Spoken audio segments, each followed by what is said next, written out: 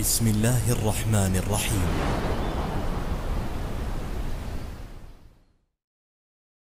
bismillahi rohmanir rohim abbosiylar xilofat hodisalari mavzusidan darsimiz davom etyapti bugun 18 noyabr 2020 yil o'tgan darsda abbosiylar xalifalaridan ikkinchi xalifa abu, abu jafar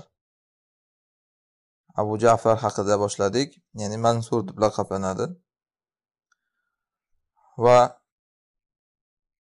abbosiylar vazirlaridan sulaymon ibn kasir qatl qilinish hodisalarini o'qidik.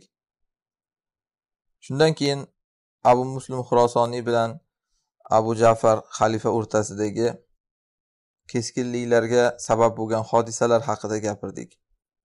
Endi bugun abu jafarni xalifaligidagi hodisalar haqida. Avval darslarda aytganimizdek abbos abul abbos saffoh o'lganda bu abu jafar hajda edi. Uni nomidan uni jiyani iso ibn muso odamlardan bayat oldi. Xalifa hajdada yo'q ya'ni. Va iroq ishini tamomiy taslim qilib u abu jafar qaytib kelgunga qadar hammadan bayat olib tartibga soldi. Abu jafar amborga ya'ni iroqqa yetib kelganda iroq ishi bayati tamomiy bo'lganligini topdi. Hammadan iso ibn muso bayat olgandi. Shu abu jafar uchun ya'ni. Va har tomonga elchilar jo'natgan bayat olishlik uchun ishlar unga topshirildi. Va xilofat maqorriga yetgach hamma mansablar ham unga topshirildi. Shunda endi mansurga yangi yangi muammolar ketma ket paydo bo'la boshladi. Ularni u hikmat bilan puxtalik bilan bartaraf etardi. Shu muammolardan biri abu jafar al mansur bilan uning amakisi abdulloh ibn ali o'rtasida sodir bo'lgan fitnalar. Hozir mana shu haqida gapiriladi. Bu kim? Abdulloh ibn ali. Abdulloh ibn ali avvalgi darslarda ham o'tdik. Mana shu abu jafarni ham undan avvalgi xalifa abul abbos saffohni ham amakisi bu abdulloh ibn ali. Bu odam shomda ko'p xizmat ko'rsatdi abbosiylar uchun. Umaviylarni yiqitishda katta rol o'ynadi. Mana abu muslim xurosonni iroqqacha taslim qilgan bo'lsa umaviylarni yiqitgan bo'lsa abdulloh ibn ali iroqdan keyin misrgacha bo'lgan mintaqalarni abbosiylarga egallab bergandi. Va marvonni quvladi ortidan. Va marvonni o'ldirgan odamlarni ham shu jo'natgandi. Xullas xizmati ko'p abbosiylarga. Endi shu uchun bu odam ham o'zi bir abbosiy tarzida yana shu xalifalarni amakisi tarzida va shu abbosiylarga ko'p xizmat ko'rsatganligidan xilofatga umid qilgan bu odam ham. Hozir abul abbos saffoh vafot etgandan keyin uni o'rniga men bo'laman deb o'ylab yurgan bo'lgan bu. Chunki amakisida u xalifani birinchidan ikkinchidan shuncha xizmatini aytdik mana. Endi yana bitta uni jiyani abu jafar xalifa bo'lganini eshitib bosh ko'targan u. Ya'ni amakilar turib jiyanlar xalifa bo'lib yuraveradimi deganda. Xullas mana shunday qilib iso ibn muso hamma tomonga elchilar jo'natgan dediku abu jafar nomidan bayat olish uchun. Shu jumladan mana shu abdulloh ibn aliga ham elchi jo'natgandi shomga. Maktubda sobiq xalifa abul abbos vafot etganini xabar qilgan va yangi xalifa abu jafarga bayatni talab qilgan abdulloh ibn alidan. Abdulloh ibn ali bu orada rumga jangga ketayotgandi. Lekin mana shu xabar kelgach xalifa o'libdi yangisi tayinlandi degan xabar kelgandan keyin shu joyda to'xtagan qarang. Xalifalik degan narsaga ishqibozligi jihoddan ham hattoki uni qalbiga bir ustun kelib ketdida. Tupa tuzuk romga jihodga ketayotgan joyda shunday askarlari bilan to'xtaganda hamma yig'ilsin deb odamlarni to'dalab qo'mondonlar unga jamlangach ularga abul abbosni maktubini o'qib bergan. Ya'ni nima vafot etganligini abul abbos saffoh vafot etganligini va vafot etishdan avval aslida avvallar xilofat tiklanishidan avval ana shu birinchi xalifa abul abbos amakisi abdulloh ibn aliga xilofatni va'da qilgan bo'lgan. Agar siz shomga urush qilib marvonni yiqitib bersangiz men o'zimdan keyin xalifalikni sizga vasiyat qilib qoldirib ketaman degan bo'lgan. Shu umid bu kishiga abdulloh ibn aliga xalifalikka tama bergan. Odamlarni jamladida shuning uchun ham hozir aytdiki mana shu sobiq xalifa abul abbos marvon ibn muhammad ya'ni umaviylarni oxirgi xalifasiga jang qilish uchun odamlar jo'natganda o'shanda va'da bergan. Kim marvonga jangga ketadi? U mening valiyil ahdim bo'ladi degandi u abul abbos. O'shanda hech kimsa chiqmadi men chiqdim degan. Marvonga jang qilgani men demak valiyil ahdiman men. Abul abbos saffohni va undan keyingi xalifa men bo'lishim kerak dedi. Endi mana abul abbos saffoh o'tibdi olamdan. Undan keyin xalifa menman dedi.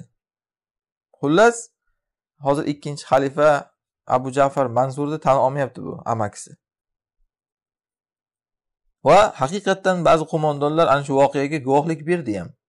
Ya'ni marvon ya'ni abu abbos kim marvonga jangga chiqsa o'zimdan keyin uni valiyil ahd qilaman deb va'da bergan deb qo'mondonlar guvohlik berdi.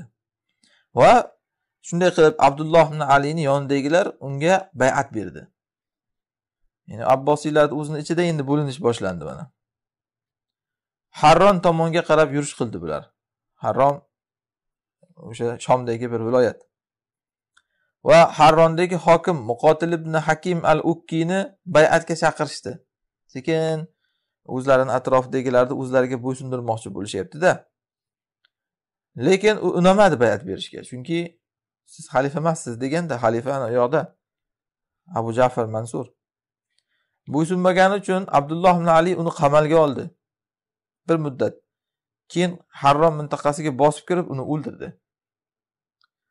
Qarang o'zi hali shar'iy xalifa emas. Lekin o'ziga bayat bermagani uchun odamlarni o'ldiryapti. Har doim ahlil ahvoni odatan shunaqa bo'ladi. Ya'ni o'zini yo'liga yurmagan odamlarni o'ldirsa ham tap tortmaydi. Keyin harrom mintaqasida o'ziga qamal qilib oldi. Ya'ni yaxshi joylashib o'zini himoyalab olganda va o'sha yerdan turib tayyorlana boshladi. Kimga qarshi? O'zini jiyani abu jafar mansurga qarshi. Undan tortib olmoqchi xilofotni. Shunday qilib mana shu abdulloh ibn ali o'zini xalifalikka tabiiy haqlik deb o'ylardi. Chunki birinchidan umaviylar davlatini qal'asini parchalagan odam ana shu ya'ni marvonni o'ldirib berdi mana. Abbosiylar oilasini asoslarini sobit qilgan mustahkamlagan odam ham shu. Uni ustiga abul abbos xilofatga o'tirganda o'zidan keyin mana mana shu odamga vasiyat qilib ketgandi.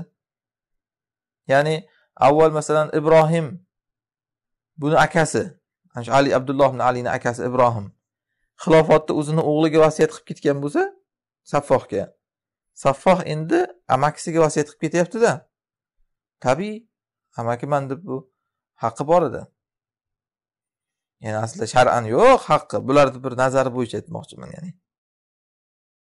To'g'ri undan boshqa uni katta akalari ham bor edi. Ya'ni abdulloh ibn alidan boshqa saffohni amakilari ham bor edi. Saffohni amakilari ichida eng kichkinasi abdusamad bo'ladi. Va undan keyingi kattarog'i mana shu abdulloh ibn ali bo'ladi. Qolgan amakilari bu abdulloh ibn alidan ham kattalari bor.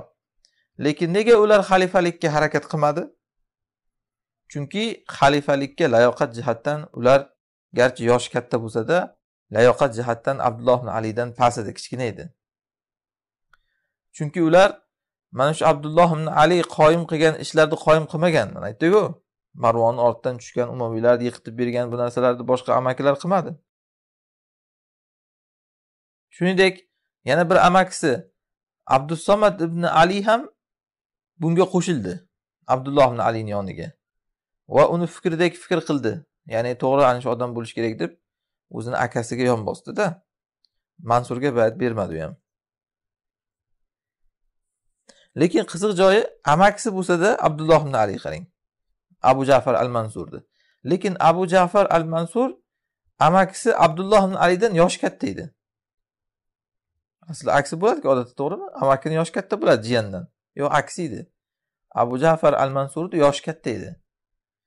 Ya'ni mana bu amakisidan abdulloh ibn alidan qanday bo'ladi bu desangiz chunki avvalgi zamonda mana saksonga kirsa ham uylanavergan saksonga kirsa ham cho'ri olib tug'diravergan shundan keyin qarabsizki amakilar jiyanlardan kichkina bo'lib qolgan. Hozir mana abdulloh ibn ali bilan abu jafar al mansur ham shunaqa edi. Abu jafar mansur u amaki bo'lsang o'zing yosh bo'lasan degandek qilganda uni. Men yoshim katta degan. Nomiga yoshi ya'ni e, nomiga amaki u. asli yosh jihatdan qarasak abu jafarni o'zi katta jiyan bo'lsa ham. Lekin haqiqatdan abu jafar abdulloh ibn alichalik abbosiylar davlatiga xizmat qilmagan. Ana shu uchun ham abdulloh ibn ali bunga qarshi chiqqan. Sen kimsan nima qilding sen deganda abbosiylar davlatni tiklanishligi uchun. U faqat tiklangandan keyin saffohni yonida maslahatchi bo'lib yurdi. Ungacha bir katta karomat ko'rsatmadi. Ammo abu jafar esa bu shunda o'yladiki demak amakini yo'q qilish kerak endi qarang. Amaki qarshi chiqyapti unga.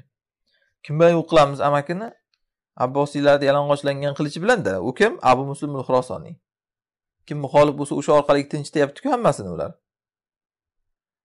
Shuning uchun o'yladiki demak amakini yo'q qilamiz abu muslim xurosoniy bilan degan. Qaysi biri avval birinchisini yo'qotsa har qalay bittasi yo'limizdan ketadi degan. Ya'ni abu muslim ham o'zi yoqmaydi ularga. Va abdulloh ibn ali amakisi ham yoqmayapti ularga. Lekin bittasini bittasi orqali ketkazamiz deganda qaysi o'lsa ham bittasiga kamayadi dushman degan. Abu muslimdan ham ular qo'rqardi chunki hamma dushman askarlar undan abu muslimdan haybat qilardi. Hamma undan qo'rqardi hamma yoqqa ovozi tarqalgan uni uni qudratlari ma'lum. Xurosonliklar unga itoat qilardi. Qo'mondonlar ham unga quloq solardi. Va agar abu muslimga kimiki quloq solmasa har qanday yo'l bilan u qatl bo'lardi. Buni o'tdik mana qancha misollarini? Shuning uchun ham endi birini birov orqali yo'q qilmasak bo'lmaydi bularni deganda bu abu mansur. Shunday qilib abu mansur bu ishni abu muslim xurosoniyga topshirdi. Sen ana shu amakimni yo'q qil degan jim jim jim qil buni deganda. Abu muslim xurosonga o'zini noibi qilib xolid ibn ibrohimni qo'ydida ambor tomonga qarab yurish qildi. Ya'ni o'sha e, yangi xalifaga oldiga borib uni himoya qilish uchun va mana bu chiqayotgan qo'zg'olonchi amaki xalifa abdulloh ibn alini tinchitish uchun. Xalifadan ta'limotlar oldi borib ambordan va harronga ketishlikni buyurdi unga xalifa. Harronda amakisi bor abdulloh ali. Va qo'mondonlar ham u bilan birga chiqishdi. Hasan ibn qohtaba hamd ibn qohtaba degan qo'mondonlar. Bu orada abu muslim xurosonniy kelayotganligini eshitib amaki abdulloh ibn ali qo'rqib ketgan. Va e, undan qochgan ya'ni abu muslim xurosoniydan chunki biladida uni kimligini o'ldiraman dedimi o'ldiradi. Va abdulloh uni o'ldirishni istardi aslida. Ya'ni bu yerda hozir kimni aytyapti ekan? O'ldirishni istardi mana hamd ibn qohtaba hamd ibn qohtabani aytyapti bu yerda. Hamd ibn qohtaba aslida abdulloh ibn alini yonidagi odamlardan bo'lgan. Lekin undan qochib ketgan. Abdulloh ali uni o'ldirishni istaganda va shuningdek yana qo'mondonlardan malik ibn haysamul huzoi hozib ibn huzayma degan kishilar hammasi katta katta qo'mondonlar bular abbosiylarni mana shular hammasi abdulloh ibn aliga yurish qilib bordilar. Hasan ibn qohtaba armaniyaga abu jafarni yordamchisi qilib tayinlangan hokim edi. Va lekin o'sha yerda armaniyada turgan joyida abu jafar unga maktub yozgan armaniyani quyida abu muslimni oldiga borib unga qo'shilsanglar degan. Abdulloh ibn aliga urush qilishlik uchun ya'ni. Va mavsulda ular uchrashishdi ya'ni abu muslim xurosoniy bilan yuqoridagi armaniyadan kelgan hasan ibn qohtaba. Abdulloh ibn ali bo'lsa o'zini kuchiga ishonardi u ham. Jur'atiga ishonardi. Va ukasi abdusomatni shijoatiga ishonardi. Va shom ahlini quvvatiga ishonardi. Biz yengamiz abu muslimni deb o'ylardida abu muslim bo'lsa u ham o'zining askarlari unga itoatgo'yligiga unga jonini fido qilishligiga ishonardi. O'zini aqliga ishonardi. O'zini rejalariga ishonardi jangdagi quvvatiga. Ya'ni umaviylarni yiqitgan endi abdulloh ibn alini yiqitolmaydimi? Yiqitardida rostdan ham yiqitgan ham ya'ni. Lekin baribir abu muslim bir narsadan qo'rqardi. Uki hozir bu odam oddiy qo'zg'olonchi emas abdulloh ibn ali. Xalifani amakisi u. Shuning uchun ham hozir buni agar o'ldirsa ertaga amakimni o'ldirding deb bularni bir e, yangi xalifalari kelgandan keyin masalan abu muslimni o'zini o'ldirishi mumkin. Sen bizni amakini o'ldirgansan deb o'ldirmay desa agar abdulloh ibn ali uni o'ldiradi ertaga. Chunki qarshi chiqib qo'ydi. Ya'ni abu abu jafar mansurni tarafdori bo'lib abu muslim abdulloh ibn aliga qarshi chiqib qo'ydi. Agar endi yo men ishtirok etmayman bu jangda desa ertaga abdulloh ibn ali xalifa bo'lib qolsa abu muslim tirik qo'ymaydi. Xullas ikki o'tni orasida qolib ketdida. Abdulloh ibn alini o'ldiray desa undan keyin boshqa xalifalar kelib keyin abu muslimni o'zini o'ldirishidan qo'rqyapti. U abdulloh ibn alini o'ldirmay desa uni o'zi xalifa bo'lib ketib o'ldirishidan qo'rqyapti. Ikkala holatda ham boshida o'lim bor qarang. Siyosatchilarni taqdiri ana shunaqa bo'ladi. Unaqasiga ham bunaqasiga ham oxiri kallasi ketadi ya'ni. Endi shu orada abdulloh ibn ali bir ahmoqlikka yo'l qo'ygan katta xatoga. Bu narsani abu muslim foydalangan keyin. U xatolikki abdulloh ibn ali shomdagi o'zini askarlari ichidan xurosonliklarni o'ldirib yubora boshlagan. Chunki abu muslim xurosoniy kelyaptiku unga qarshi. Ular ichkaridan abu muslim xurosoniyga yon bosib yuborishligidan unga xiyonat qilishlaridan ya'ni abdulloh ibn aliga xiyonat qilishlaridan qo'rqqan. Shu uchun haligi qo'rqoq avval mush ko'tarar degandek shomdagi o'zini askarlari ichidan xorosonliklarni o'ldirib yubora boshlagan. Bular unga yon bosadi abu muslimga deb. Shu o'ldirishlikda o'n yetti ming askarni o'ldirib yuborgan. Ahmoqlikni qarangda o'zingni askaringdan o'n yetti mingtasini o'ldirib yuborasanmi hali yo'q narsaga. Ha bular bir kun emas bir kun baribir abu muslimga yon bosib yuboradi deb o'ldirib yuborgan. Buni ko'rgan o'n yetti ming qarindoshi o'lib ketganligini ko'rgan abu muslimni tarafidagi afg'onistonliklar borku xurosonliklar ular battar mana abdulloh ibn alidan nafrati qo'zigan. Va urushmayman deganlari bo'lsa ham urushamiz endi oxirigacha deyishga o'tgan. O'ziga o'zi dushman orttirdi. Chunki o'n yetti mingta odam qavm qarindosh qarab o'tirmaydida endi. Ana shunday qilib o'ziga o'zi zarar qildi hozir. Bu qo'rqqandan qilgan bu ishni ya'ni nimadan abu muslim xurosoniydan shu darajada qo'rqqandan avvaldan o'zidan o'zi mana o'n yetti ming askarini o'ldirib yubordi. Ana shunday qilib hikmatsizlik qildi. Xurosonlik askarlari e, unga xiyonat qilishdan qo'rqib bir qanchasini o'ldirib yubordi. Qarabsizki qolgan askarlarni ham ishonchi qolmagan keyin unga. Ya'ni abu abu muslim kelmasdan turib o'zimizni o'ldirib yuboryaptiku bu degan. Abdulloh ibn ali. Qanaqa qilib biz unga askar bo'lamiz endi? Nimaga endi biz unga jonimizni berishimiz kerak degan. Mana bu xabar ya'ni abdulloh ibn ali o'n yetti mingta afg'oniston xurosonliklarni o'ldirib yuborganligi abu muslim xurosoniyga yetganda ana shu yerda keyin hikmatini ishlatib urushishga qaror qilgan abu muslim. Yaxshi bo'ldi deganda o'ziga o'zi oyog'iga bolta urib berdi abdulloh ibn ali. Uni askarlariga chunki shijoat kirib ketgan shunda.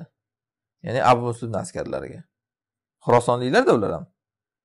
Va hammalari shunda qanoat qilishganki agar urushmay abu muslimni yonida turib urushmasdan abdulloh ibn aliga taslim bo'lsak bizni ham demak shunaqangi taqdir kutyapti. Bu abdulloh ibn ali o'zini askarlaridan xirosonliklarni o'ldirib yuborgan biz unga qarshi kelyapmiz. Agar biz hozir taslim bo'lsak batariqalab bizni ham o'ldirib yuboradi deb keyin haqiqiy jonini berib urushga o'tgan. Ko'ryapsizmi? Qanaqa qilib odam o'ziga o'zi dushman orttiradi? Va shu orada abu muslim xurosoniy abdulloh ibn aliga qarab nido qilgan. Ya'ni jangdan avval bir biriga muzokaralar bo'lyaptida. Aytganki uni askarlariga ya'ni abdulloh ibn alini askarlariga biz sizlarni bu boshlig'inglar abdulloh ibn aliga urush qilgani kelganimiz yo'q biz degan. Biz shomga voliy bo'lib keldik biz. Bu narsa abu muslim tomonidan ham juda bir hikmatli ish. Hozir shomliklarga aytyaptiki biz sizlar bilan urushgani kelganimiz yo'q. Biz shomga voliy bo'lgani keldik deyapti.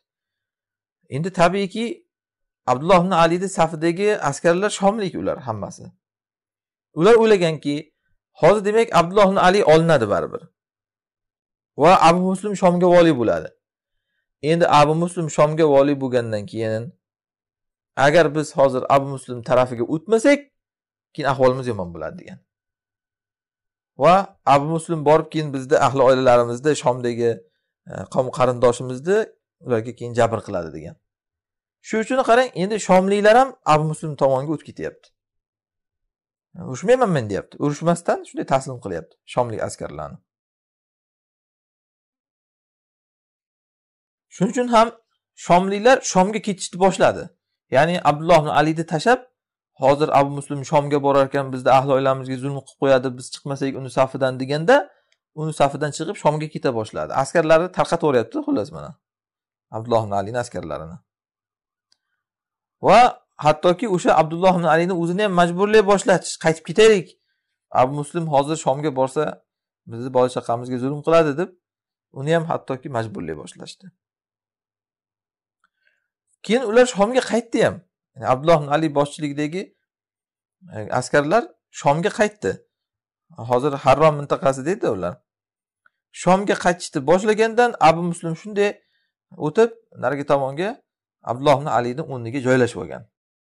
Ya'ni egalladi bitta viloyatni har qalay shunday uni siljitida joyiga o'tirib oldi. Va bu orada uzoqlashmagandi u abdulloh ibn ali.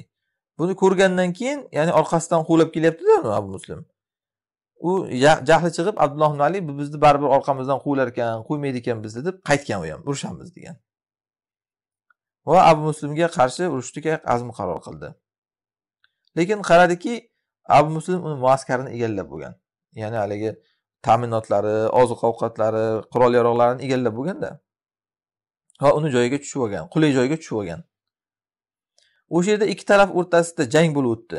Besh oy davom etdi jang.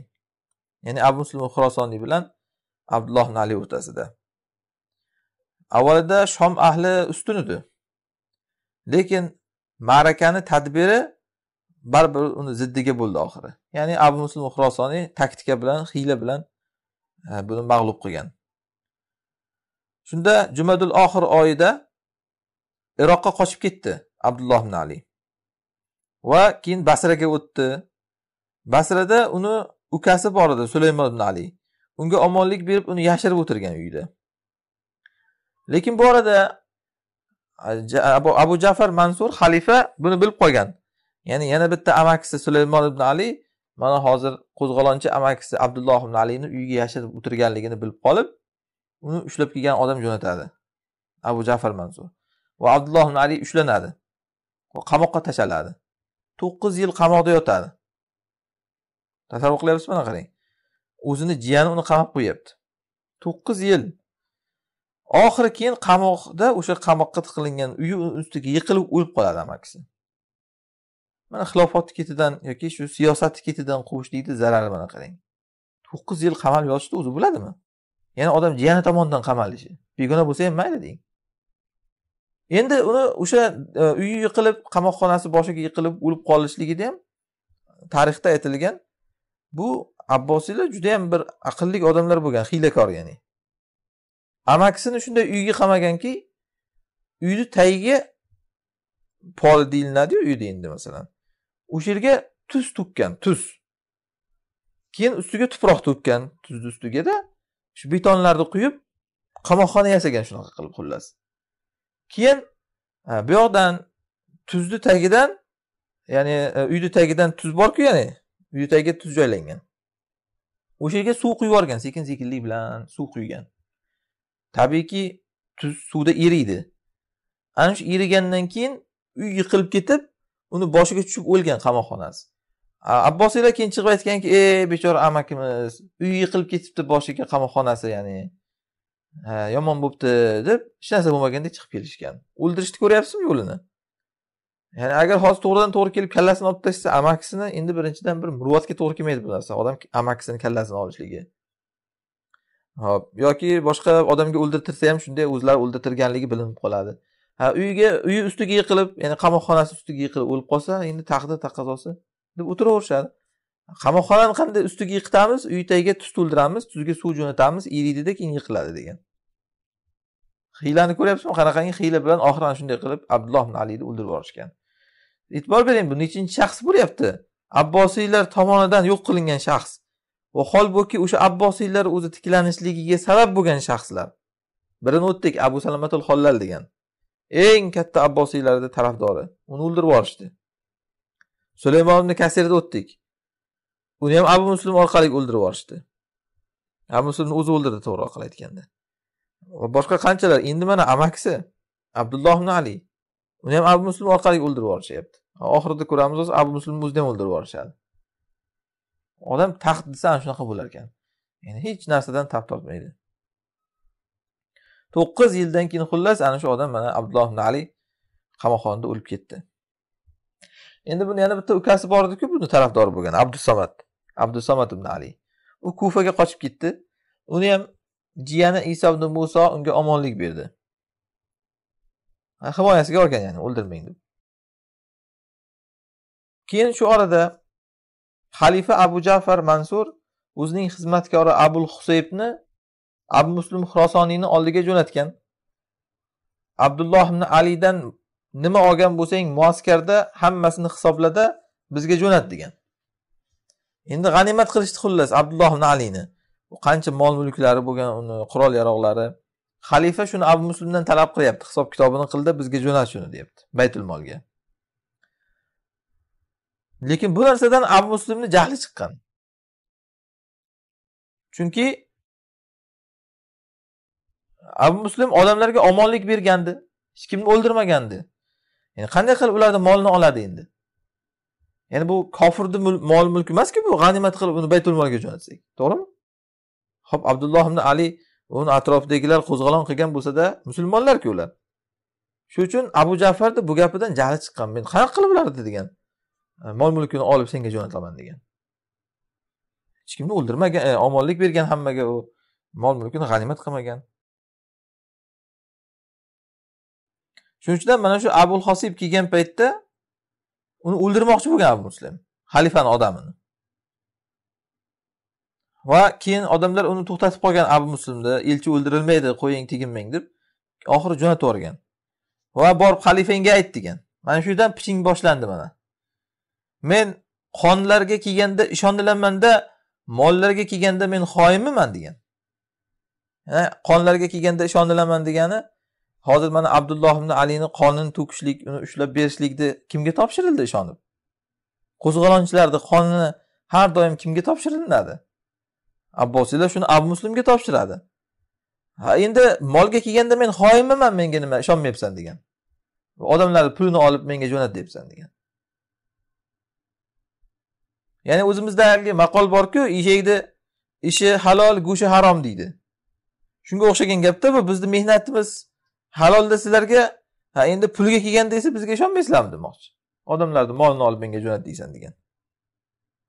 Va xalifa mansurni so'kkan o'shanda. Elching elchiga aytgan borib xalifangga ayt ana shu gaplarni. So'kdi sizni deb aytgan shundan bilasizki bu kuchayib ketgan abu muslim. Ya'ni bosar tusarini bilmay qolgan. Bo'lmasam xalifani so'kishni o'zi bo'lmaydida endi. Elchi qaytib kelgan mansurni oldiga hamma voqeani xabar qilgan. Ana shu yerdan ixtilof o'zi yorqin bo'lib vozih bo'ldi. Ya'ni xalifa yangi xalifa mansur bilan abu muslim o'rtasida. O'zi biz avval darslarda aytdik avvaldan pichinglar bor edi ikkalasini o'rtasida. Abu jafar mansur saffohni zamonidan uni o'ldirib yuborishni istab yurardi abu muslimni. Lekin saffoh o'ldirmagan abu muslimni. Endi mana mansur xalifa bo'lgandan keyin piching boshlandi ikkalasi o'rtasida. Xullas bitta muxolif kamaydimi yangi xalifani qarshisida bitta muxolif kamaydi uki abdulloh ibn alini harakati amakisini harakati yiqildi. Endi eng katta muxolif qoldi endi. Uki abu muslim xurosoniy endi buni bir narsa qilish kerak. Bu davlatdagi qudratga ega yakka shaxs edi. Lekin mansurni qo'li unga tegishligini abu muslim istamasdi ya'ni bunga qarab o'tirmasdi u ham. Mansur ham o'z navbatida undan qo'rqardi abu muslimdan chunki nufuzi katta. Va abu muslim shuning uchun xurosonga qaytishini istamagan mansur. Nega? Chunki xurosondan chiqib bu o'zi umaviylarni yiqitib tashladiku. Agar hozir men buni yana xurosonga jo'natsam yana xurosondan chiqib bizni ham yiqitib tashlaydi u degan. Shuning uchun nima qilish kerak? Uni xurosondan to'xtatish kerak degan. Abu muslimni. Xurosondan qanday to'xtatadi? Xurosondan to'xtatish uchun xalifa mansur o'ylaganki unga men shom voliyligini taklif qilaman degan. Shunda nufuzi kamayadi ozroq uni. Chunki yangi mintaqa unga o'rganguncha vaqt ketadi. Xurosonliklardek shomliklar unga vafodor emas. Kerak bo'lsa yomon ko'radi ham shomliklar abu muslimni.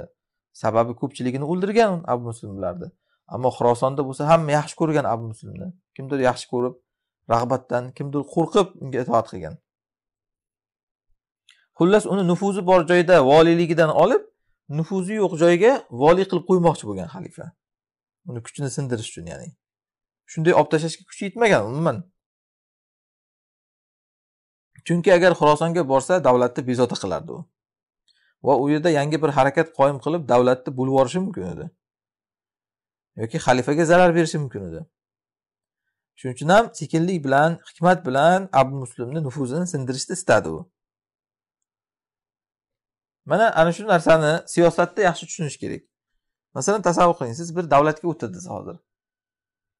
O'sha davlatda haromxo'rlar egallab olgan ekan uni. Ana shunaqa paytda agar ularni birdaniga kallasini olishni boshlasangiz ularga sizni bu noto'g'ri siyosatingiz ayni qo'l kelishi mumkin. Mana bular bizni o'ldiryapti deb sizni o'zi tagingizga o'qib yuborishadi. Shuni nima qilishingiz kerak siz to'g'ri siyosat? Unga to'g'ri qilishtirolmaysiz balki uni nufuzini kamaytirib kuch kamaygandan keyin keyin uni yo'q qilasiz. To'g'ri siyosat shunaqa bo'ladi. Hozir mana abu jafar mansur mana shu siyosatni qo'llayapti abu muslimga. Uni shunday kallasini olib yuborsa qo'rqdi bundan. Shuning uchun to'xta nima qilamiz? Uni nufuzini kamaytirib keyin yo'q qilamiz degan. Yani nufuzini kamaytirish deganda uni haligi imkoniyatlarini cheklaydi. Kichkinatirib boraveradi imkoniyatlarini chetlab ya'ni. Shuning uchun ham e, xalifa abu jafar abu muslimga maktub yozib aytdiki men seni misr va shomga voliy qildim dedi. Mana shu ishlaring uchun shuncha xizmatlaring uchun misr va shom katta joy endi bu tasavvur qilyapsizmi misr misr degani uni uyog'i yog'i ispaniyagacha ham uni qo'l ostida bo'ladi. Shom degani bu endi katta davlat. Suriya mana hozirgi kundagi falastin iordaniya turkiya hududlari va hokazo. Ana shuncha joylarga voliy qildimi seni dedi. Lekin abu muslim aqlli odam bo'lgan. U bilgan bu yerda menga uni berilishligini ortida boshqa gap bor degan. To'g'ri yaxshi katta joy. Xurosondan senga yaxshi deyapti xalifa mana. Haqiqatdan xurosondan yaxshi. Misr shom lekin u yerda abu muslimni gapi o'tmaydi xurosonda o'tgandek. Ana shuni bildi abu muslim. Shunda unga maktub jo'natgan. Ya'ni hali xalifani gapi davom etyapti xalifa aytdiki abu muslimga sen misrga xohlagan odamingni jo'nat. O'zing tomonidan voliy qilib qo'ygin o'zing shomda yashayvergin amirul mo'mininni yonida yashagin. Mana shunday katta imkoniyat berdim men senga degan. Agar amirul mo'minin senga yo'liqishni istab qolsa uni oldiga kelib turasan xurosonda bir joylarda nima qilasan deganda tog'i toshda ya'ni o'zini maslahatchim bo'lasan demoqchi amirul mo'minin deb o'zini aytyapti abu jafar. Lekin bu maktub abu muslimga yetib kelganda jahli chiqib ketdi bildi u. U shohida yursa bu bargida yurardida u abu muslim. Uni ortidan siyosat borligini bildi. Va aytganki meni shom bilan misrga voliy qiladimi? Xuroson meniki bo'lib turib degan. Ya'ni xuroson shunday menga itoat qilib men o'zim u yoqda tiklab chiqqanimdan keyin u yoqdan meni olib tashlab endi meni misrga shomga voliy qilamiz degan. Lekin baribir mana shu gapida xato qildi abu muslim. Chunki e, baribir rasululloh sollallohu alayhi vasallam hadisda aytganlaridek asmi va ati deganlar xalifani gapiga kir itoat qil orqangdan tepsa ham molingni olsa ham deganlar nima farqi bor qayerga voliy qiladi? Shundan bilasizki o'zi nufuzi kamayishini istamayapti. Nufuzi kamayishini istamayotganligi dalilki bu o'zi ham bir xalifa bo'lish niyati bo'lgan. Abu muslim xurosoniyni e, shu uchun ham nufuzini kamaytirishni xohlamayapti mana. Va shu zahoti mansurga qaytib maktub yozib mana shu gaplarni xabar qildi. Men afg'onistonga ketaman degan. Misr ham kerak emas shom ham kerak emas menga degan. Xurosonga ketaman dedi. Va xalifani gapini bir qil bir pul qilib shunday tashladida xurosonga ketaverdi. Xalifa orqasidan elchi jo'natib yotdi. To'xta shomda o'tir misrda o'tir deb yo kerak emas menga degan. Mansur ambordan chiqib madoin shahriga yetdi. Ya'ni iroq eron o'lkalaridagi shaharlarda endi bu. Ya'ni mansurni o'zi chiqdi endi yo'lga qarang madoinga abu muslimga maktub yozdi o'sha yerga kel shu yerda uchrashaylik degan. Mansur demak qarang o'sha yerda xalifa bo'lsa ham baribir o'zini haqqidan tushyapti. Ya'ni xalifa bo'lib kel mana men o'zim senga yaqinlashdim deb uni oldiga boryaptida. Lekin shunda ham abu muslim kibr qildi baribir ham. Unga bir qadam tashlasa ham u tashlamadi u xalifaga bir qadam. Aslida bu tahdid qilgan bo'lishligi ham mumkin abu jafar bu orada. Ya'ni agar endi mana shunaqangi men senga bir qadam tashlaganimdan keyin sen menga bir qadam tashlamasang ya'ni yon bermasang e, seni yo'lingni to'saman deganda ham bo'ldida. Chunki madoin shahridan xurosonga o'tilinadi. Madoinga xalifa borib olganligi hozir abu muslimga bitta risola maktub bo'ldiki qo'ymayman seni demoqchi bo'lyapti xurosonga o'tishga. Shuning uchun kel madoinga meni oldimda o'tir gaplashaylik degan. Abu muslim zob shahrida turgan holida unga maktub yozdi. Amirul mo'mininni biror dushmani qolmasdan olloh u dushmanlaridan unga g'alaba berdi. Va biz soson podshohlaridan rivoyat qilardik avvalgi zamonlarda. Abu muslim xurosoniy fors bo'lganda asli kelib chiqishligi. Shuning uchun aytyaptiki avval soson ya'ni o'sha fors podshohlaridan bir gapni eshitardik biz. Vazirlar eng qo'rqinchli bo'lgan holati fitnalar tinchigan holatida bo'ladi. Biz shuning uchun ham senga yaqin bo'lishlikdan endi qo'rqyapmiz degan. Va senga lekin vafo qilsang vafo qilishga harismiz. Seni amringga itoat qilishlikka harismiz. Ya'ni aytmoqchi abu muslim xurosoniy bu gapdan maqsadi. Forsni qadimdagi podshohlarda bir maqol bo'lar ekan. Vazirlar agar o'zini muxoliflarini tinchitsa ulardan qo'rq. Endi seni tinchitadi degani hozir abu muslim xurosoniy ochig'ini aytyapti mana abu jafarga xalifaga? Siz amirul mo'mininga hamma dushmanlaringizdan olloh imkoniyat berdi yengdingiz ularni. Endi shuning uchun navbat bizga kelgan bo'lishidan qo'rqyapman men degan. Ishonmayman sizga deyapti xullas. Bilyaptida chunki shunchasini o'ldirib yubordi abu muslim tirik qo'yami endi o'zini amakisini qarang o'ldirib yuboryapti mana. Abu muslim kim bunga? Bildi abu muslim mana shu narsani. Shuning uchun ham biz sizga yaqin yurishdan qo'rqamiz endi degan. Oldingizga bormayman deyaptida xullas. Lekin sizga vafo qilish niyatim bor baribir ham degan. Siz agar bizga teginmasangiz biz sizga teginmaymiz deyapti. Sizni amringizni eshitamiz amringizga itoat qilamiz. Faqat tinchlik yo'li bilan bizga haligi qarshi bir narsa qilmang degan ya'ni. Agar shu gaplar sizni rozi qilsa biz sizga eng yaxshi bir qulingizdek bo'lamiz deyapti. Agar bu narsaga unamasangiz nafsingizga o'zi nafsiz istagan irodasini beraversangiz siz o'zingiz tuzgan ahdni buzgan bo'lasiz. Mendan qizg'anib ya'ni meni haligi bir davlatni egallab olishimdan qizg'anib o'zizni o'ziz yakson qilasiz demoqchi. Xalifaga aytyapti bu gaplarni. Mana ko'rinib turibdiki abu muslimni maktubida u toatni izhor qilyapti. Ya'ni mayli men itoat qilaman deyapti xalifaga. Lekin o'z navbatida tahdid ham qilyapti. Ya'ni o'zini agar istagi amalga oshmasa tinch qo'ymasligiga tahdid qilyapti xalifaga. Istagi nima edi abu muslimni? Xorosonga ketishdi bor yo'g'i boshqa narsa emas. Nima bor xorosonda desa unga itoat bor. Hamma uni gapiga kiradi nufuzi bor. Ammo mansur bo'lsa u ham o'zini fikrini o'tkazaverardi xalifa ya'ni. Abu muslim bo'lsa bu yerda bayatni buzishga ham tayyor edi. Agar xalifa o'zini fikridan qolmasa. Maktub xalifa mansurga yetib kelgan paytda abu muslimga yana qaytib maktub jo'natdi u. Seni maktubingni tushundim degan. Seni sifating anaqangi xoin vazirlar sifati emasku podshohiga xiyonat qiladigan ular davlatni iztirobga tushishini istaydigan sen vazir emaskusan jinoyati ko'p vazir emaskusan sen.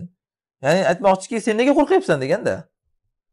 Men to'g'ri masalan vazirlarni o'ldirib yubordim qanchasini. Lekin sen unaqangi xoinlardan emassanku jinoyati to'lib toshib ketgan nega qo'rqyapsan sen degan. Men senga bir shikast yetkazishimdan. Sen bir qo'zg'olon qilganing yo'q degan yoki bir qo'zg'olon qilish niyating ham bormi demoqchida ularga o'xshab. Men ularni o'ldirgan bo'lsam qo'zg'olon qilganligi xiyonat qilganligi uchun o'ldirdim deyapti ya'ni. Sen nega o'zingni ularga teng qilding dedi. Mana bu ham zakiyligidan qarang xalifani. Abu muslim tilidan ushladi. Aytmoqchiki haqiqatdanda mana abu salamatul hollalni abbosiylar o'ldirib yubordi. Nima uchun? Davlatni abbosiylardan olib arabiylarga bermoqchiligi uchun. Sulaymon ibn kasirni ham shu uchun o'ldirdi mana abu muslim. O'zini amakisini ham shu uchun qamatdi mana abdulloh ibn alini e, xalifa. Ammo abu muslimga aytyaptiki sen nima qilding qo'rqyapsan? deyapti. Yo sen ham shunaqangi rejang bormi? demoqchi. Davlatga to'ntarish qilmoqchilik rejang bormi? Nimaga qo'rqyapsan sen mendan degan. Ana shu yerda ushlandi. Abu muslim haqiqatdan ham bu narsaga javob berib bo'lmaydi. Agar davlat to'ntarish qilish rejang bo'lmasa nimadan qo'rqyapsan degan. Sen o'zingni ularga teng qilma dedi. Sen axir itoatgo'ysan bizga deyapti. Bizga sen xolissan degan. Bu ishni qancha mashaqqatini bo'yningga olding sen ya'ni shu davlatni sen tiklab berding deyapti. Unga bir baribir ozmoz rioyasini qilib laganbardorlik qilyaptida endi abu muslimga.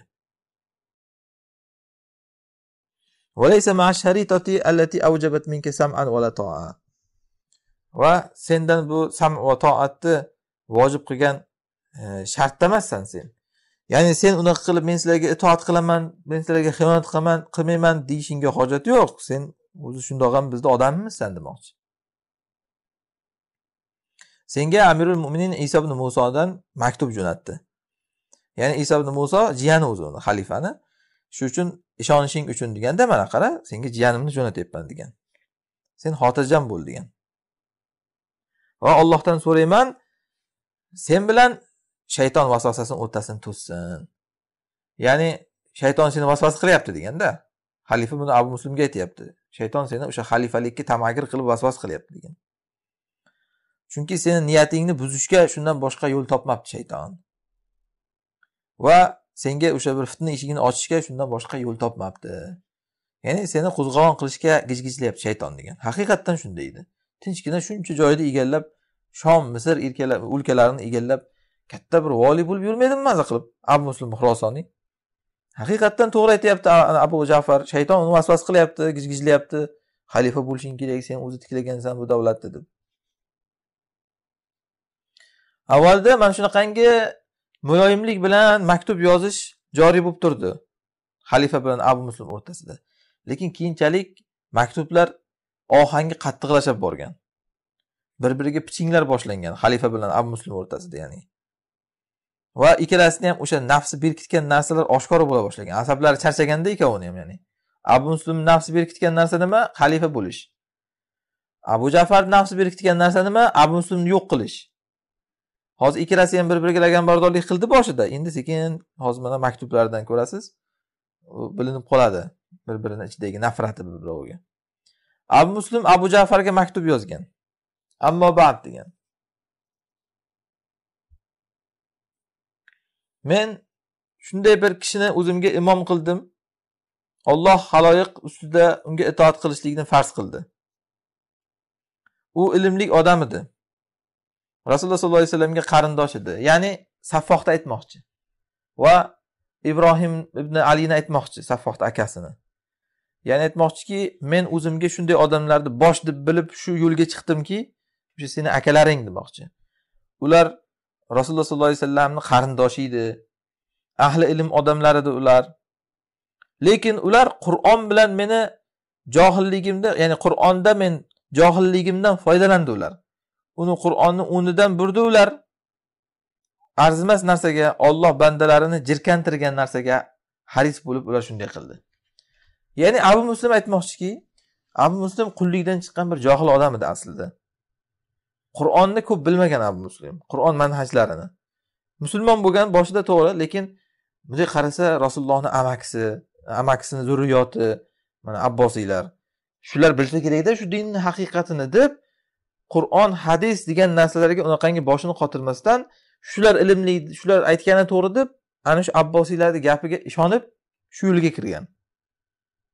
Haqiqatdan chunki ibrohim ibn alilar ilmli odamlar bo'lganda abdulloh ibn abbos navaralarini o'g'illari. Endi abu muslim oradan shuncha vaqt o'tib o'zi bilib qolgan. Aslida qur'onda ham sunnatda ham abbosiylar xalifa bo'lsin degan joyi yo'q. Ana shuni aytyapti hozir abu muslim. Shu paytgacha sizlar meni ahmoq qilib kelibsizlar men endi bildim deyapti. Men sizlarga jonimni e, fido qilgudek bo'lib shuncha payt xizmat qilib kelibman o'ylabmanki shu payg'ambarni amakisini zurriyoti shular. Shu dinda bo'lsa kerakda rostdan ham shu payg'ambarni amakisini zurriyoti xalifa bo'lishi kerak degan gap. Deb sizlarga men jon kuydirib kelibman. Endi bildim unaqa gap yo'q ekan dinda demoqchi. Shohlaring yo'q ekan sizlarni demoqchi xullas ya'ni. E, sizlar xalifa bo'lishga haqqinglar bo'lganidek oddiy men ham kerak bo'lsa xalifa bo'lishga haqqim bor demoqchi bo'lyapti. Yoki masalan ali roziyallohu anhuni zurriyoti ham xalifa bo'lishga haqqi bor abbosiylar bo'lsin degan joyi yo'q. Sizlar men qur'onni bilmasligimdan foydalandinglar deyapti. Olloh bandalarini jirkantirgan ozgina narsaga tama qilib ya'ni dunyoga demoqchi. Olloh bandalarini jirkantirgan ozgina narsa dunyo bu. Aldab yo'ldan urdinglar meni sizlar deyapti. Iblisga o'xshab. Mana iblis haligi odam alayhissalomni shunaqa qilib aldab yo'ldan urdiku shu mevadan yesang boqiy qolasan farishtaga aylanasan deb. Abu muslim aytyaptiki sizlar meni ana shunday yo'ldan urdinglar. Xalifalik bizga bo'lishi kerak ajrga qolasan shunda baraka topasan deb meni yo'ldan urdinglar deyapti. Va menga qilich yalang'ochlashni buyurdinglar rahm shafqatni yig'ishtirib qo'yishni buyurdinglar. Uzr ma'ziratni qabul qilmaslikni buyurdinglar. Xato qilsa xatoni kechirmaslikni buyurdinglar. Sizlarni sultoniylarni quvvatli deb men shuncha ishni men qildim johillik qilib deyapti. Ilmsizligimdan demoqchi. Olloh sizlarga sizlarni kim ko'tarib turganligini bildirdi hatto oxiri. Ya'ni men orqali ko'tarildinglar demoqchi. So'ngra endi olloh meni tavba bilan qutqardi degan. Shu gaplardan bilasizki haqiqatdan abu muslim umrini oxirida mana shuncha qilgan ishlariga pushaymon bo'lyapti qarang. Aytdiku abu muslim abbosiylar davlatini tiklab berish uchun kamida deyilgan ulamolar aytgan kamida olti yuz ming odam o'ldirgan bu ozmuncha odam emas bu olti yuz ming tasavvur qilyapsizmi? Endi agar haligi hisobga kirmaganlarni hisoblasak bir millionga yaqin odam bo'ladi. Bitta davlat tiklanishi uchun ana shuncha odamni hozir qoni kimni bo'ynida qolyapti qarang? Abu muslimni bo'ynida qolyapti. Abu muslim u musulmonmi deysiz? Ha musulmon. Ana shu yerda o'zi aytyapti nimaga bunday qilganini? Men bilmasdim deyapti. Sizlar meni aldadinglar ilmsizligimdan foydalanib degan. Endi men bildim olloh meni tavba bilan qutqardi degan. Sizlarga men unaqangi haligi qilich bo'lib bermayman endi demoqchida. Sizlarni haligi e, jinoyatinglarni berkitadigan qo'lqop bo'lib bermayman men deyapti endi. Agar olloh meni kechirsa qadimdan o'zi kechirish bilan ma'ruf olloh kechirimli kelmoqchi ya'ni. Agar menga jazo bersa ham olloh qo'lim kasb qilgan gunohlar sabab jazo beradi degan. Robbing bandalarga zolim emas. Ana shu yerda mana oyatlardan misol keltirgani endi bilinadiki abu muslim hamma narsa tinchigandan keyin o'qigan mana qur'on o'qigan hadis eshitgan shundan keyin ozmoz mana joyiga tushdi. Endi shunchadan itoat qilmayman endi men sizlarga deyapti. Shuncha gunohkor qilganinglar yetadi meni deyaptida endi unga alam qilgan joyi hozir u shuncha gunohni qilib hali oxiratga borib uni javob berish kerak edi. Endi yana uni o'zini supurib tashlamoqchi bo'lishyapti abbosiylar ana shu joy alam qilgan unga. Shuning uchun uni tavba qilishga majbur qilgan mana shu narsa. Bu ham ollohni bir rahmati abu muslimga. Chunki agar abbosiylar uni shunaqangi qilib supurib tashlamaganda ehtimol ko'zi ochilmasdi. Tavba qilmasdi ehtimol. Hozir endi bu gap tabiiyki xalifaga yoqmaydi. Xalifaga to'nkayaptida chunki bu. Shuncha jinoyatni abu jafar abu muslimga maktub yozgan. Ammo bad dedi. Qalblarga ma'siyatlar in quradi sen mana shu gaplarni angla ey toish dedi. Ya'ni bosa tutsani bilmay qolgan odam degani yengiltak degani. E, va uyqingdan uyg'on sen mastligingdan uyg'on ey mast deyapti. Mana ko'ryapsiz mana keskinlasha boshladi maktublar. Ya'ni bizni bizga piching qilma demoqchi bo'lyaptida. Va uyqungdan uyg'on deyapti. Sen yolg'onchi orzu havaslar bilan aldanib yuribsan sen deyapti. Ya'ni maqsading o'zingni oppoq ko'rsatma demoqchida maqsading sen xalifa bo'lish orzu havasi bilan yuribsan sen degan. Sen dunyo barzaxidasan. Sendan avvalgilarni ham aldab qo'ygan seni ham aldayapti shu degan. Va o'tmishlardagi sifat o'tmishda o'tgan kishilarga kelgan sifatlar senga ham keldi. Ya'ni sen ham shu dunyoni ketdan quvishni boshlading demoqchi. O'tmishga qara deyapti. Olloh o'tmishdagi o'sha podshohlar haqida nima deydi qarang. Hal tuhissu minhum min ahadin aw tasma'u lahum rigza o'shalardan birortasini bir tovushini eshityapsanmi ularni bir his qilyapsanmi shitirlagan ovozni eshityapsanmi? Ya'ni aytmoqchiki sendan avval xiyonat qilganlarni oqibati nima bo'ldi? Qara sen ham unga bizga xiyonat qilishlikka umid qilma demoqchi bo'lyapti. Endi o'sha vaqtlarda xalifalar ham ilmli bo'lganda o'zini maqsadini oyat bilan ifoda qilib beryapti qarang aslida bu oyat kofirlar dinga kurashganlar haqida kelgan abbosiylar xilofatiga kurashganlar haqida kelmagan. Ya'ni dinga kurashganlarni qarangki qanday yo'q bo'lib ketdi birontasini ovozi chiqyaptimi degan olloh hozir shuni abu jafar abu muslimga aytyapti. Bizga kurashganlarga qara nima bo'ldi? Hammasi tinchib ketdi. Birontasini ovozi chiqyaptimi hozir degan. Va olloh qochgan odamdan ojiz qolmaydi. Va olloh kimni talab qilsa ollohni aldab qo'sholmaydi u odam. Sen o'zingdagi jamoating bilan sen o'zingni o'sha da'vat qilgan odamlaring bilan aldanma shuning uchun ham deyapti. Ya'ni bizga qarshi chiqaman deb o'ylama demoqchi. Ular seni o'zingga qarshi hujum qilib seni tarafdoring bo'lganidek. Ya'ni mana abdulloh ibn alida shunaqa bo'ldiku. Marvonda shunaqa bo'ldi. Uni tarafida turdida keyin xiyonat qilib bu tarafga o'tib ketdi. Abbosiylar tarafga ya'ni. Ana shunaqa bo'ladi u jamoating ham deyapti. Agar sen bizga itoat qilishdan bosh tortsang jamoat ikkiga bo'lsang senga ollohdan o'ylamagan narsalaring oshkor bo'ladi. Bu ham oyat. Badalahum minallohi malam yakunu yahtasibun oyati. Zumar surasi tafsirida o'tdiku buni. Qarang xalifalar ilmli bo'lganda oyat bilan o'zini gapini ifoda qilib beryapti sen shuning uchun shoshma. Tajovuz qilib bizga qarshi chiqishdan ehtiyot bo'l ey abu muslim dedi. Chunki kim haddidan oshsa tajovuz qilsa olloh undan voz kechadi va unga qarshi olloh u tajovuz qilgan odamiga yordam beradi واحذر أن تكون سنة في الذين قد خلوا من قبلك ومثلة لمن يأتي بعدك sen ehtiyot bo'l o'zingdan avvalgilar sunnatiga ergashma o'zingdan keyingilarga zarbul masal bo'lib qolma o'zingdan avvalgilar sunnatiga ergashma degani haligi qo'zg'olonchilar yo'liga ergashma aks holda o'zingdan keyingilarga zarbul masal bo'lib qolasan Bo'ldi ham shunday. Mana hozir eslab ibrat tarzida zabul masal bo'lib eslab o'tiribmiz. Abu muslim xurosoniyni dunyoni ketdan quvmaslik kerakligini.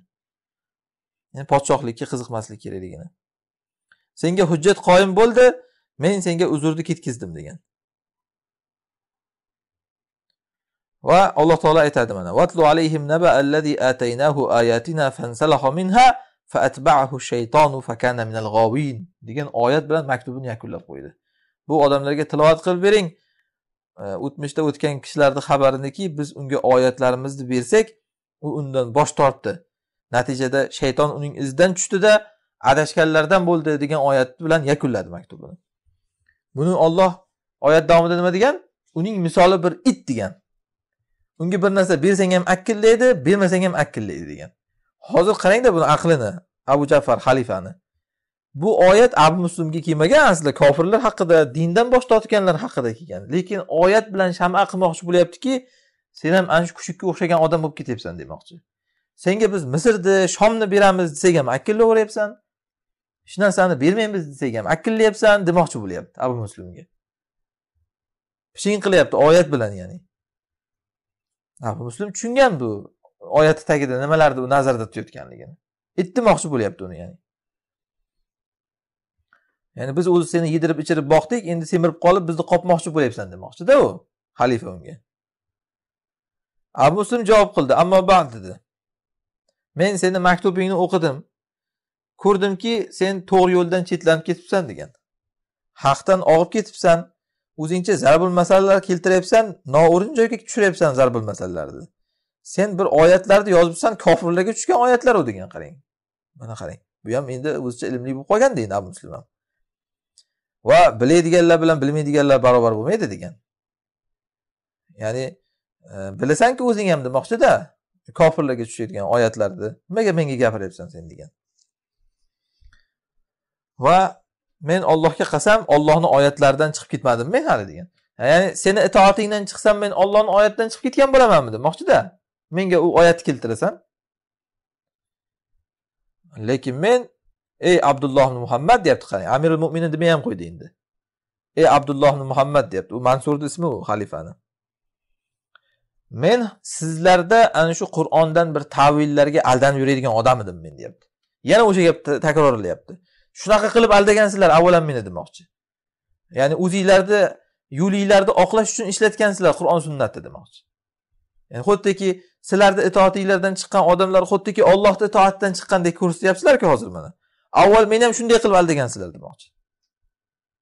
Mana marvonga qarshi urushtirishganda abu muslimni shunaqa deb aldashganda rostdan ham ha bu zolim ollohni oyatidan chiqqan bu ana shunga urushish kerak deb shunaqa qilib aldagan. Yani uni yo'lidan chiqsa xuddiki ollohni yo'lidan chiqqandek bo'ladi ana shu sizlarda ana shunaqa qilib oyatlarni taviliga aldanib yurardim men. Sizlarga viloyatni vojib qilgan toatni vojib qilgan deb yurardim men deyapti ya'ni olloh olloh sizlarga itoat qilishimizni buyurgan deb yurardim men ham. Men sendan avvalgi ikkita akangga ishni tamomiy qilib berdim avval.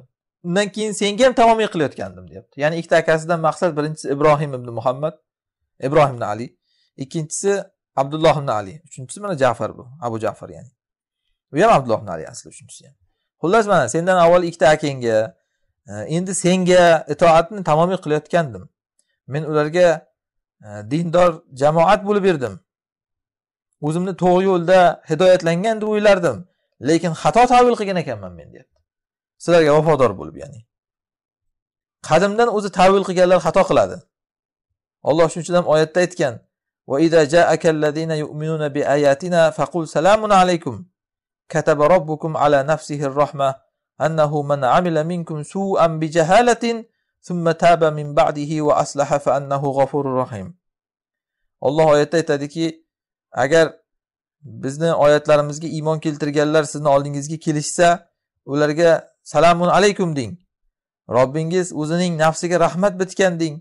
Sizlardan kimiki jaholat bilan yomonlik qilsa so'ngra undan keyin tavba qilsa isloh qilsa olloh mag'firatlik rahmlik deng. Bu bu oyatlarni keltirayotgandan bilyapsizki haqiqatdan tavba qilyapti abu muslim. Man jaholat bilan qilibman shuncha ishni olti yuz ming odamni o'ldirib yuborganligimni sizlar uchun deyapti. Seni akang saffoh mahdiy suratida zohir bo'ldi menga deyapti. Aytdiku abbosiylar mahdiy bizdan chiqadi deb xalifalik tiklagan. Va aytdiku mana shu uchun ham ular bolalariga mahdiy ismini qo'ygan. O'tamiz hali abbosiylarni uchinchi xalifasini ismi muhammad ibn abdillah al mahdiy va u odam o'zini mahdiy deb o'ylagan ham deyilgan. Va mahdiyga o'xshab harakat ham qilgan ko'p sadaqalar qilgan kechirimli bo'lgan o'tamiz yaxshi sifatlari ko'p.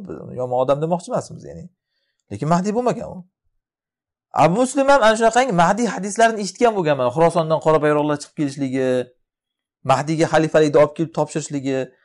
Aytyaptiki men bechora sizlarni mahdiy deb o'ylab xurosondan qora bayroq ko'tarib chiqib olti yuz ming odamni o'ldirib kelibman men deyapti.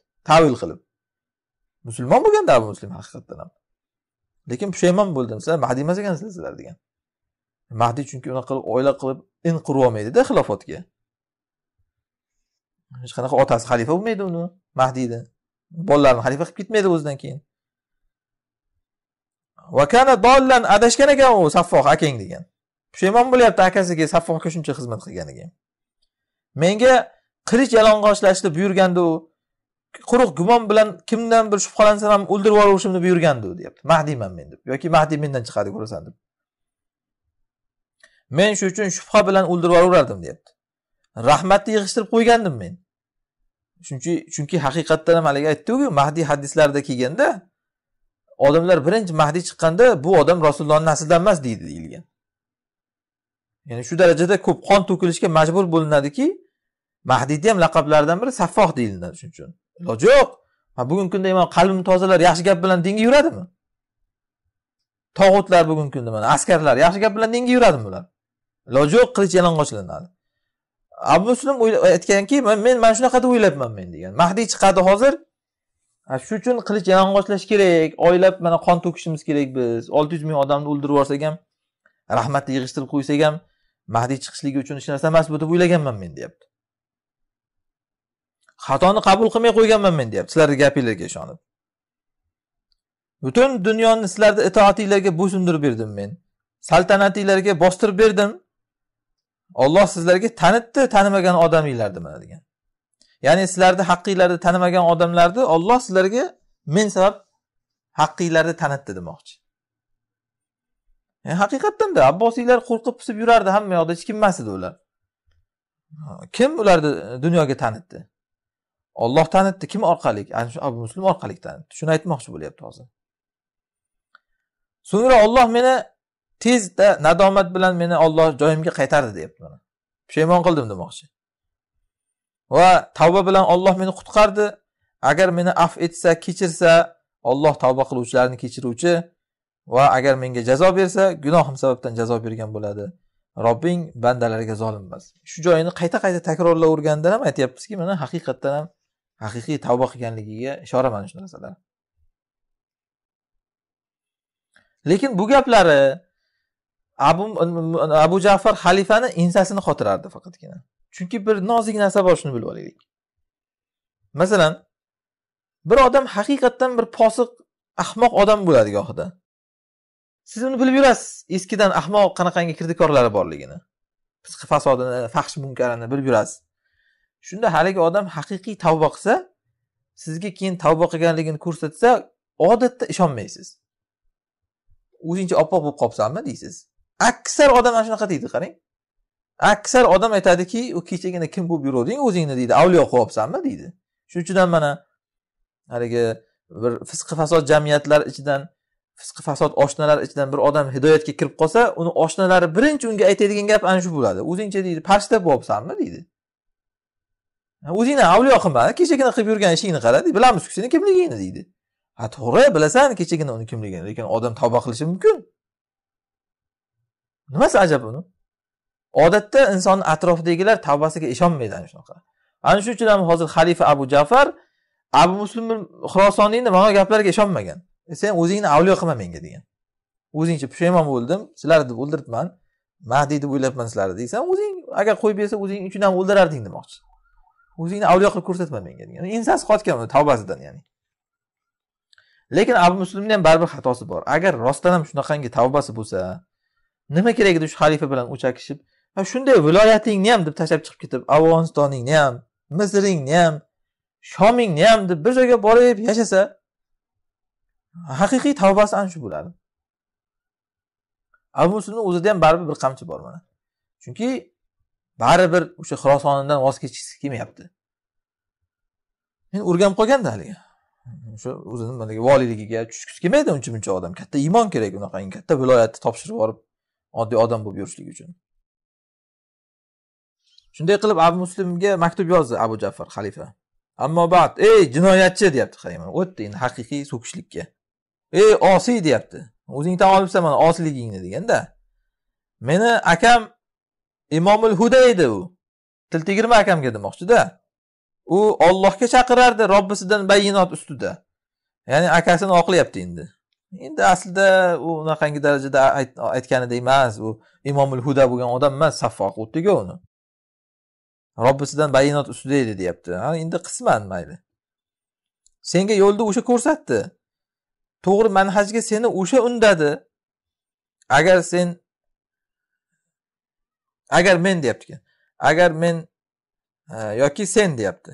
Ikkalasi ham agar men yoki sen akamni hidoyatiga ergashsak haqdan burilgan burilgan bo'lmaymiz va shayton va uning amrlaridan uzoqlashgan bo'lamiz ولكنه لن لم يسنح لك أمران إلا كنت لأرشدهما تاركا sen o'zing sen aqlsizsan qachon seni oldingda ikkita ish tursa sen o'shani to'g'risini tark qilib kelgansan va o'shani bir g'ovoyatiga ya'ni yomoniga ergashib kelgansan o'zing aqlsizsan demoqchi Oldingda ikkita yo'l tursa shuni hidoyatlirog'iga emas zalolatrog'iga ergashib kelgansan sen deyapti. Fir'avnlardek qatl qilasan sen deyapti. To'g'ri fir'avnlardek qatl qildi shubha bilan qatl qilib yubordi lekin tavba qilyaptiku nima kerak endi bu gap. Va zo'ravonlardek sen zulm qilasan deyapti. Mufsidinlar hukmidek hukm bilan hukm qilasan molni isrof qilasan noo'rin joyiga qo'yasan isrofgarchilardek sen tarqatasan molni deyapti. Ana bu gaplar pichinglar hammasi yillar mobaynida abu jafarni qalbida yig'ilib turgan ginalar. Ana shu hozir otilib chiqyapti hammasi. O o'tdiku. Hajida abu muslim hammaga o'zini haligi e, saxovatlik ko'rsatib infoq ehsonlar qilib yursa abu jafar unda xalifa emas edi qilolmasdi. Shunda alami kelib qolgan o'shanda. O'shani hozir chiqaryapti qarang. Sen deyapti ana shu isrofchisan deyapti. Bo'lgan bo'lmagan joyga pul tarqataverasan deyapti. Pul tarqatib ham endi baloga qolyapti qarang. So'ngra men seni yaxshi bilaman ey posiq deyapti. Men musobni kapti xurosonga voliy qildim. Ya'ni o'sha joyi e, ya'ni e, summa min xobari degani so'ngra bilib qo'y degan ma'noda aytyapti ekan. So'ngra bilib qo'y ey posiq men seni xurosondan oldim deyapti. Xurosonga musobni kapti voliy qildim degan. Va men unga buyurdim. Nisaburda turadi u. Agar xurosonga borishni istasang o'zi bilan bo'lgan askarlar bilan sening qarshingga chiqadi u degan. Kirmaysan xurosonga men deyapti mana. Buni qarang. Misr bilan shomni rad qilib xurosondan ham mahrum bo'lding abu muslim. Xuroson yo'q senga dedi. Va men ham senga yo'liqishga sening oshnalaringga yo'liqishga yo'lga chiqaman.